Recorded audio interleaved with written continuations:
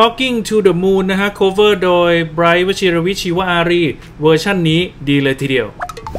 ถือว่าเป็นอีกหนึ่งคนบันเทิงนะครับ ที่มากด้วยความสามารถสำหรับหนุ่มสุดฮอตไบรท์วชิรวิชีวอารีนะครับเพราะนอกจากการแสดงที่ทำให้แฟนๆ นั้น ตกหลุมรักกันแล้วนะฮะเรื่องของการร้องเพลงก็ยังเป็นอีกหนึ่งอย่างนะครับที่เจ้าตัวชอบ หากใครที่ติดตามนะครับก็จะเห็นว่าหนุ่มไบรท์มักสร้างสารรค์ผลงานเพลงต่างๆ ออกมาให้ติดตามกันอยู่บ่อยๆนะฮะ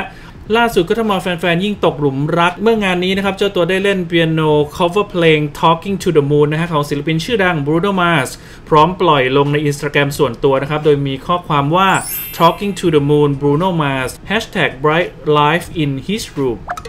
ซึ่งหลังจากที่ปล่อยออกมาให้ฟังทำเอาชาวไบรท์พูดเป็นเสียงเดียวกันเลยนะครับว่าเพราะไม่แพ้ต้นฉบับเลยจริง ๆ และไม่เพียงแค่นั้นนะครับก็มีสาวๆ อย่างออมสุชา แอนทองผสมและมาริยานะครับก็ไม่พลาดที่จะเข้ามาคอมเมนต์ใต้คลิป โดยสาวแอนทองผสมนะครับได้ส่งหัวใจมาให้นะฮะสาวออมสุชานะครับก็โพสต์ว่าอื้อหือไบรท์แล้วก็ส่งหัวใจสีแดงนะครับส่วนมาริยาสาวสวยของเรานะครับก็ส่งหัวใจสีแดงมาให้ไบรท์ด้วยเช่นกันนะครับหากเพื่อนๆที่อยากฟังนะครับก็ไปหาฟังกันได้ใน Instagram ของไบรท์นะครับ b b r i g h t v c